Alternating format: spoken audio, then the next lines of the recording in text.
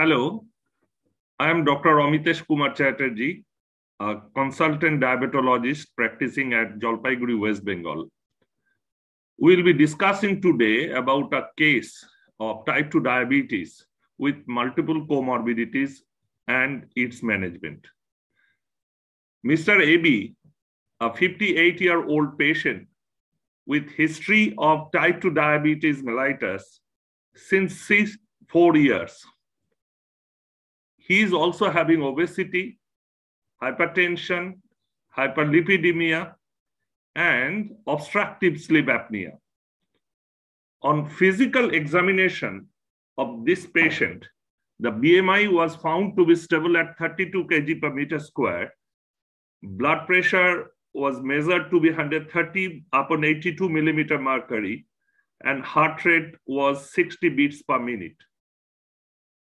On laboratory measurement, his HbA1c was 8.3%, estimated glomerular filtration rate 70 ml per minute, low density lipoprotein 69 milligram per deciliter, HDL 35 milligram per deciliter, triglyceride 250 milligram per deciliter, and his AST level was 70 unit per liter, while ALT level was 100 unit per liter. This patient was on several medications, namely metformin 1000 milligram twice daily, lisinopril 40 milligram once daily, metoprolol extended release 100 milligram once daily, atorvastatin 40 milligram once daily, and last but not the least, aspirin 81 milligram once daily. Now, as per the patient profile, he has a short duration of type 2 diabetes mellitus. He is young and has no major comorbidities with no major complication that would reduce his lifespan. He is at low risk of hypoglycemia. He would benefit from a more stringent goal. However, he is also obese he is hypertensive and hyperlipidemic, as I have already mentioned, and having obstructive sleep apnea disorder. Now, as per ADA recommendation, less than 7% A1C level is a reasonable goal for most non-pregnant adults. In addition to efficacy, following considerations predominate in determining pharmacotherapy for him, such as risk of hypoglycemia, weight loss or minimize weight gain, heart failure, atherosclerotic cardiovascular disease, chronic kidney disease, and obviously the cost.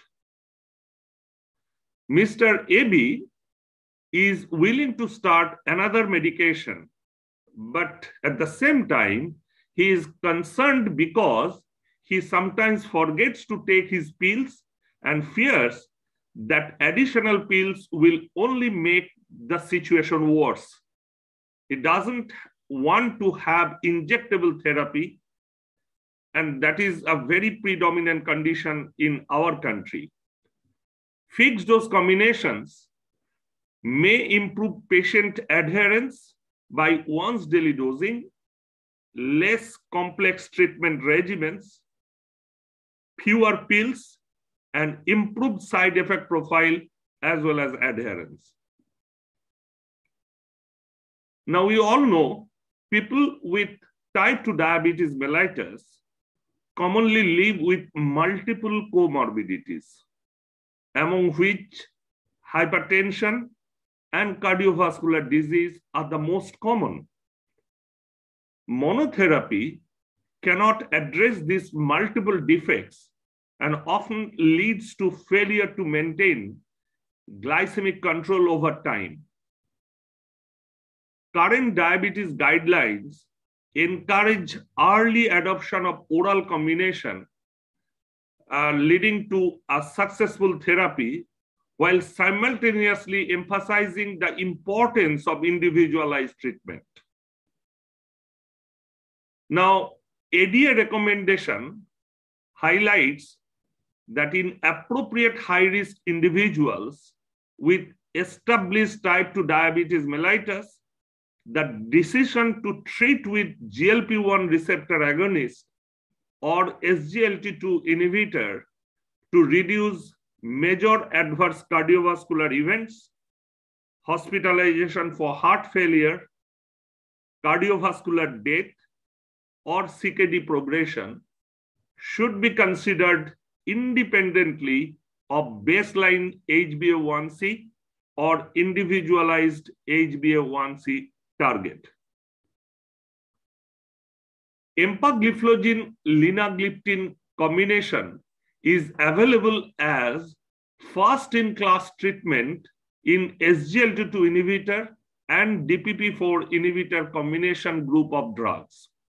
SGLT2 inhibitor, as we all know, is a class of novel oral glucose lowering agents that mediates glucose lowering action by increasing urinary glucose excretion via inhibition of the sodium glucose co-transporter 2 in the proximal tubule of the kidney. The salutary effect is its ability to act independent of insulin secretion and action and render it suitable to administer at any stage of the disease course. This is one of the beauty of this particular agent. DPP4 inhibitor exerts its glucose lowering effect by the elevation of incretin hormones. To be more precise, endogenous incretin hormones and subsequent augmentation of the glucose dependent insulin secretion and inhibition of glucagon release. Combination of these agents has potential to show the additive glycemic control due to their complementary effects of action.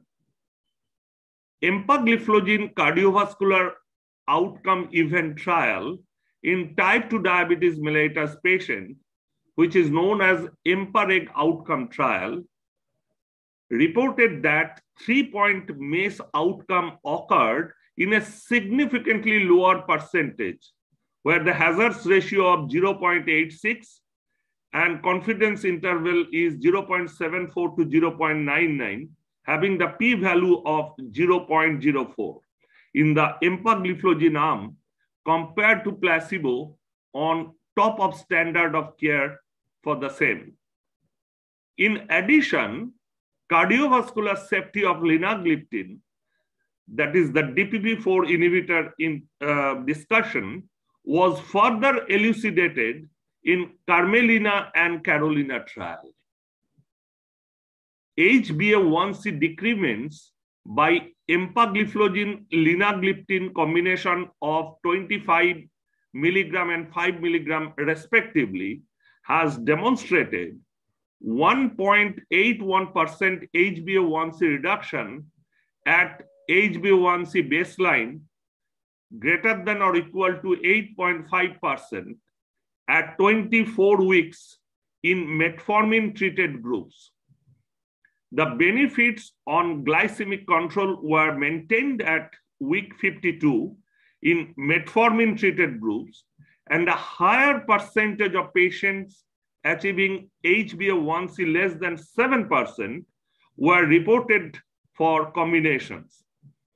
The combination offers a suitable component in strategy to achieve target HbA1c without increased risk of hypoglycemia, as well as weight gain, with improvement in overall lipid profile. A reduction in the incidence of genital infections associated with SGLT2 inhibitor has been reported when a DPP4 inhibitor is added, perhaps because of a better glucose control, although other possible mechanisms remain to be investigated. So in summary, empagliflozin and linagliptin combination provides a robust HbA1c reduction and two to four times higher odds of patients reaching the goal HbA1c compared to individual agents with low hypoglycemia risk. Thank you very much.